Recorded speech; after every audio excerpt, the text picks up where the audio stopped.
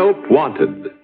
Forward looking men and women, eager in outlook, with vision, perspective, honest point of view, to see the challenge of our times.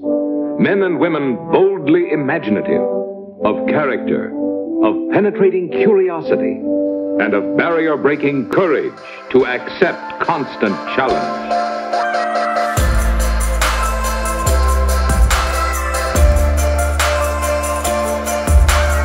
What makes an engineer? Mathematical mind? Curiosity? Flair for tinkering?